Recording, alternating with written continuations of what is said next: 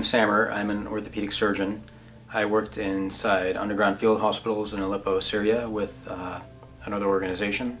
Uh, and I worked in the Ramtha, Jordan uh, project with MSF, uh, taking care of Syria's war wounded.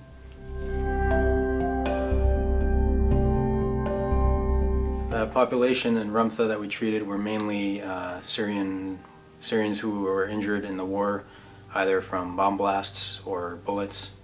Uh, we were doing surgery essentially every day, cleaning out war wounds, amputating mangled or obliterated limbs, doing our best to uh, resuscitate people in emergency rooms before we take them to the operating room. But on top of that, these were people who were fleeing uh, the devastation of having had their homes, their schools, their markets, their hospitals uh, bombed. They were running away from that. They've lost everything, uh, and that takes its toll emotionally and psychologically on top of the physical traumatic toll of, of losing a limb or, or losing an eye or being paralyzed. Because even when you survive all that, uh, there's a lot more to deal with after the fact.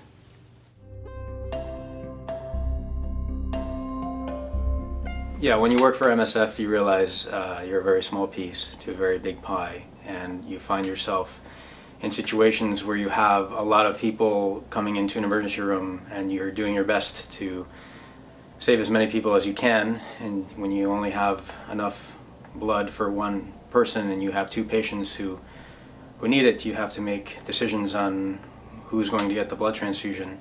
And so uh, I remember one day a mother came into the hospital right after she had been involved in an airstrike. Um, uh, she said she was just walking with her two children and a bomb landed. And uh, the next, she, next thing she remembers um, she only had one child in her arms um, and uh, that child wasn't moving. And she had to let go of that child in order to run after her other one who was bleeding um, from an injury in his arm. And uh, we were able to save that kid's life through blood transfusions, taking him to emergent surgery, so everyone played a part.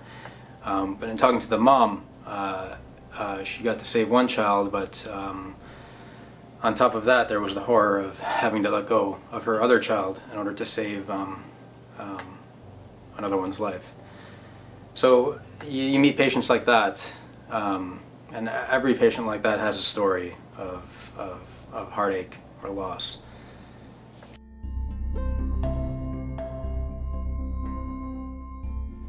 So I volunteered with the Syrian American Medical Society uh, that's an organization that's maintained contacts with local healthcare providers inside Syria. And when the war broke out, healthcare was driven underground because hospitals and healthcare providers were being targeted simply for providing healthcare. I worked in an underground hospital in Aleppo, Syria, pretty much doing the same thing I was doing in Ramtha, taking care of Syria's war wounded, operating on war wounds. But I was working with a really brave, resilient group of Syrians who have been there for years. This was their, their everyday life. This is their typical day. What's only two weeks for me, four weeks for me, is um, years for them. Uh, and it's uh, really an honor and a privilege to be amongst uh, people who I consider true heroes.